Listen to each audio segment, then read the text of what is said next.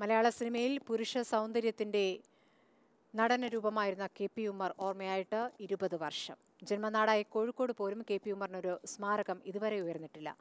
കുറ്റിച്ചിറ പൈതൃക പദ്ധതിക്ക് K P ഉമ്മറിന് പേരിടണം എന്ന ആവശ്യം ശക്തമാണ്. വില്യംസിന്റെ വീട്ടിലെ പിയാനോ ഫ്രെഡി അല്ലേ കൊണ്ടുപോയത് അതെനിക്ക് വേണം. എവിടെയായാലും. എന്റെ ആൾക്കാർ കൂടെ വരും. അവരുടെ കയ്യിൽ കൊടുത്തയച്ചേക്ക്. വില എന്താന്ന് വെച്ചാൽ അവർ തരും. സുന്ദരനായ വില്ലൻ എന്നാണ് കെ പി ഉമ്മറിനെ പൊതുവിൽ വിശേഷിപ്പിക്കുന്നത്. എന്നാൽ അതിനപ്പുറമുള്ള നടന വൈഭവമാണ് കെ പി ഉമ്മറിന്റെത്. കോഴിക്കോട് കുറ്റിച്ചിറയ്ക്കടുത്ത് ഹൽവ ബസാറിലാണ് ജനനം. കലാപാരമ്പര്യം അവകാശപ്പെടാനില്ലാത്ത കുടുംബത്തിൽ. മുൻ മന്ത്രിയും സ്വാതന്ത്ര്യസമര സേനാനിയുമായ പി പി ഉമ്മർ കോയയുടെ നാടകത്തിൽ ജമീല എന്ന സ്ത്രീ കഥാപാത്രമായി സുന്ദരനായ ഉമ്മർ അഭിനയിച്ചു തുടങ്ങി.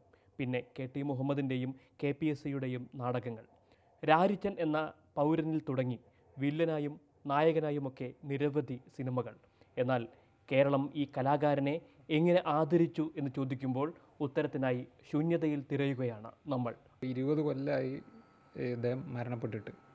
ഇതുവരെ ഇപ്പോൾ എനിക്ക് തോന്നുന്നു കുറേ വർഷങ്ങളായി ഈ ആവശ്യം. ഒരു പിന്നെ ടൗൺ ഹാളിൽ ഇപ്പോൾ എല്ലാ ആളുകളുടെയും ഫോട്ടോ തൂങ്ങുന്ന ഏത് എല്ലാ മേഖലയിലും.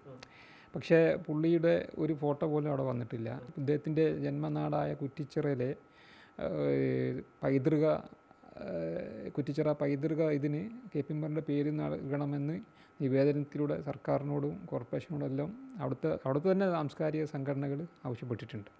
പക്ഷേ പിന്നെ ഒരു തീരുമാനമൊന്നും ആയിട്ടില്ല.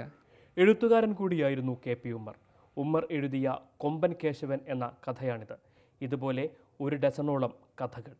രോഗികൾ എന്ന നാടകവും എഴുതി എല്ലാ അർത്ഥത്തിലും സമ്പൂർണനായ ഒരു കലാകാരനായിരുന്നു കെ പി ഉമ്മർ. ഓർമ്മയായി ഇരുപത് വർഷമായിട്ടും കേരളത്തിലെ സർക്കാരുകൾ മനസ്സറിഞ്ഞ് ആദരിക്കാൻ വൈകിയ കലാകാരൻ.